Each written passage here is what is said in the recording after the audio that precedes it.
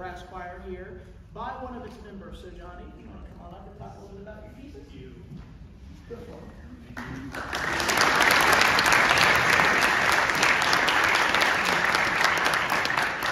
afternoon. Really quick, I just want to thank Dr. Golden, who went on stage, and Jonah and Catherine, um, who helped me put this whole group together and all the rehearsals. Could give them a round of applause. The first piece I'm going to be playing is called Transcendence. It's a very slow piece, lyrical. Um, and then the second piece is Bermuda. It's a completely different style, uh, much faster and energetic. So yeah, thank you. Hope you enjoy.